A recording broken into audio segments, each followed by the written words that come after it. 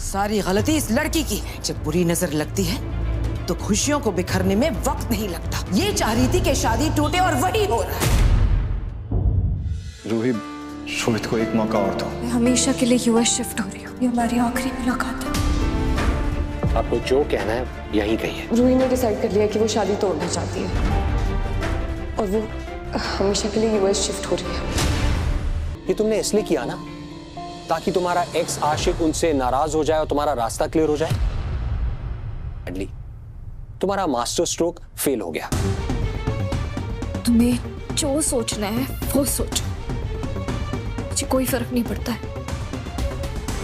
और आंदा अगर मुझसे बात करनी हो तो मेरे लॉयर को कांटेक्ट कर लेना। मुझे कॉल करने की कोई ज़रूरत नहीं है। क्योंकि जिस तरह से तेरी हरकतें है ना वो तुझे छोड़ के चली जाएगी। तुझसे रिश्ता तोड़ देगी वो। तोड़ दे। मुझे कोई फ़र्क नहीं पड़ता है। तुझे कोई फ़र्क नहीं पड़ता है।